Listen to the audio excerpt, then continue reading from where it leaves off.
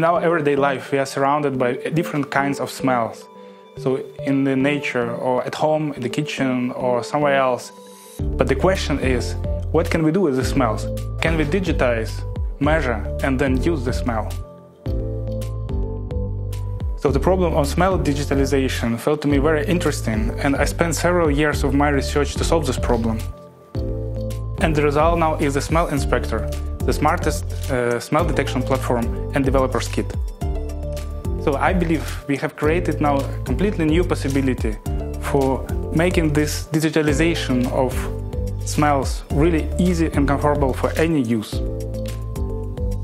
The board inside contains really new technology. It has very small and compact multi-channel chip based on nanomaterials. The chip is a sensor array which is actually up to 100 times more sensitive compared to conventional gas sensor, but still cheaper. Using the full potential of nanotechnology and combining into artificial intelligence, we created a completely new solution. This is a gadget for digitalization and recognition of smell, and this can be used by everyone. So, machines can already see with cameras, they can hear, microphones, they can even touch, but they cannot smell yet.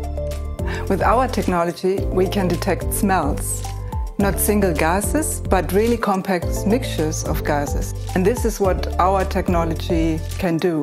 We see a huge potential to turn the, the market upside down by using this and using our technology like an electronic nose. Thanks to the development of IX16, we have finally achieved our breakthrough. This chip is very very sensitive, uses almost no power, is compact, modular and can be integrated in many electronic devices. Our fully in-house production technology makes this affordable for any use case. And that is the chance to mount the sensor on some robotic arm or robotic vehicle or even on a drone that flies around to sniff gases. The application to put a sensor with a sensitivity like that on a flying drone is very difficult because the drone perturbate the air and also the gases in the air. And nevertheless, it was very surprising that our sensor could really sniff the ammonia in the air through the drone is flying. So the interesting thing is that the smart form factor, together with the capability, the feature of gas recognition, can be combined and therefore mobile applications, flying applications, swarm applications become possible. Our device is compatible with Arduino or Raspberry Pi and can be used for really different small projects. With our groundbreaking technology, we would like to build a worldwide community of developers and let people try very different use cases.